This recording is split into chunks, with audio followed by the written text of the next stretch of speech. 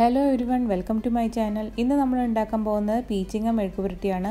വളരെ എളുപ്പത്തിൽ ഉണ്ടാക്കിയെടുക്കാൻ ചോറിന്റെ കൂടെയൊക്കെ കഴിക്കാൻ പറ്റുന്ന നല്ലൊരു മെഴുക്കുപുരട്ടിയാണ്. അപ്പോൾ നമുക്ക് അത് എങ്ങനെയാണ് ഉണ്ടാക്കുന്നത് നോക്കാം. അതിന് വേണ്ടിയിട്ട് ഞാനിവിടെ ഒരു കടായി ചൂടാക്കി എടുത്തിട്ടുണ്ട്. അതിലേക്ക് നമുക്ക് എണ്ണ ഒഴിച്ചു കൊടുക്കാം. എണ്ണ ചൂടായതിന് ശേഷം അതിലേക്ക് കടുക് ഇട്ട് കൊടുക്കാം. കടുക് പൊട്ടിയതിന് ശേഷം നമുക്ക് ഇതിലേക്ക് ഉള്ളി ഇട്ട് കൊടുക്കാം. ഞാനിവിടെ സവോളയാണ് എടുത്തിരിക്കുന്നത്. ചെറിയ ഉള്ളി കിട്ടുവാണെങ്കിൽ അതിട്ടാലും മതി.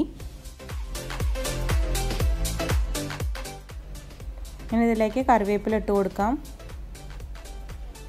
ഉള്ളി നന്നായിട്ട് മൂത്തതിന് ശേഷം നമുക്ക് പച്ചമുളക് ആഡ് ചെയ്ത് കൊടുക്കാം. ഇതിലേക്ക് കാൽ ടേബിൾ സ്പൂൺ മഞ്ഞൾപ്പൊടി.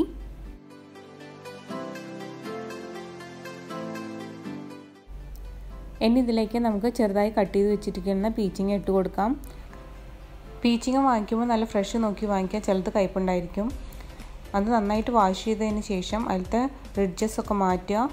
എന്നിട്ട് ജസ്റ്റ് ഒന്ന് സ്ക്രൈപ്പ് ചെയ്ത് കൊടുക്കുക. എന്നിട്ട് വേണം നമ്മൾ ചെറിയ ചെറിയ പീസസ് ആയിട്ട് കട്ട് ചെയ്തെടുക്കാൻ. ഇതിലേക്ക് ആവശ്യത്തിന് ഉപ്പിട്ട് കൊടുക്കുക. അടച്ചു വെച്ച് വേവിക്കേണ്ട ആവശ്യമൊന്നുമില്ല. ഇനി ഇതിലേക്ക് കോക്കനട്ട് ആഡ് ചെയ്ത് കൊടുക്കാം.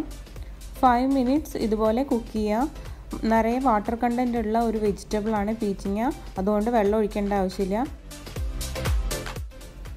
അപ്പോൾ പീച്ചിങ്ങ മെഴുക്കുരട്ടി റെഡി ആയിട്ടുണ്ട്. പെട്ടെന്ന് ഉണ്ടാക്കിയെടുക്കാം. പിന്നെ അതുമല്ല നല്ല ടേസ്റ്റാണിത് ചോറിന്റെ കൂടെയൊക്കെ കഴിക്കാൻ.